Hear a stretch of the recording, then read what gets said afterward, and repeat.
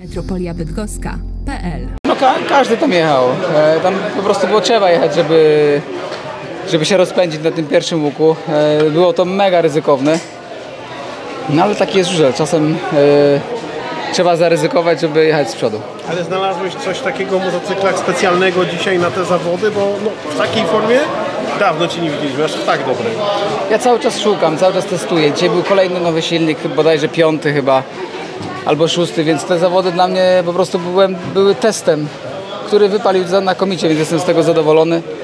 E, więc e, z tego się najbardziej cieszę, bo przyjeżdżałem tutaj z, z nastawieniem takim, że mam pięć biegów do odjechania i fajnie jakbym coś, coś poszukał, znalazł, e, przekazał informacje odnośnie tego, jak, jak mi się jeździ na tym motocyklu, a jeździło mi się dzisiaj na nim świetnie. Zgodzisz się, że to jest jeden z najlepszych, jeśli nie najlepszy tor do walki?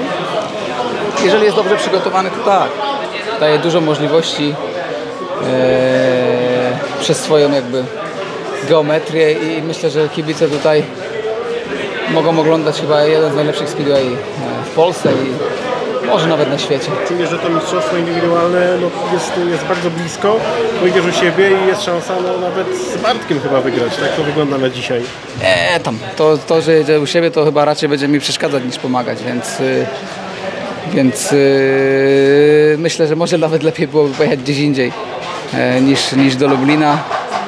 E, I tyle, no co, jedziemy tam, tam gdzie, gdzie mamy, może przetestujemy coś kolejnego, żeby łapać, łapać tą bazę, która jest nam potrzebna na playoffy e, w Lidze Polskiej, bo to najważniejsze. metropoliabydgoska.pl